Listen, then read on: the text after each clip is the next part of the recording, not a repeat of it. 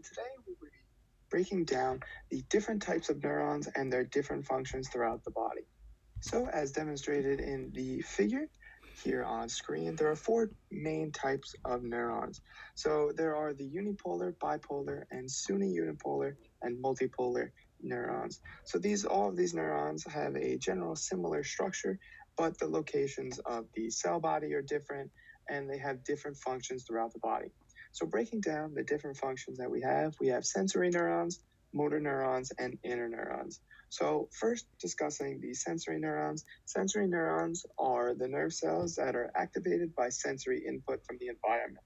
For example, when you touch a hot surface with your fingertips, the sensory neurons will be ones firing and sending off signals to the rest of the nervous system about the information they have received about the hot surface your fingertips are touching.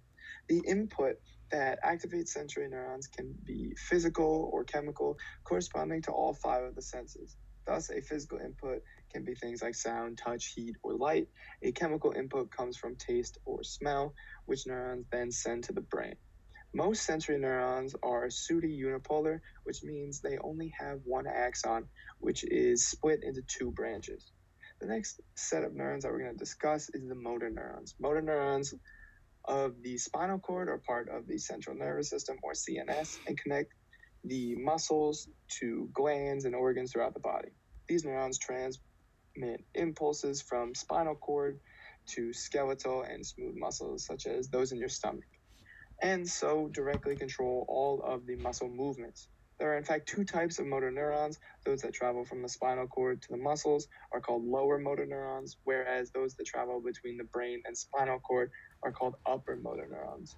Motor neurons have the most common type of body plane for a nerve cell. They are multipolar, uh, each with one axon and several dendrites.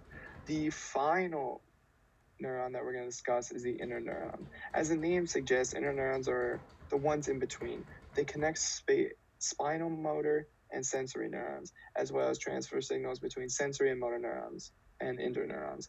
Can also communicate with each other, forming circuits of various complexity. They are multipolar uh, neurons just like motor neurons.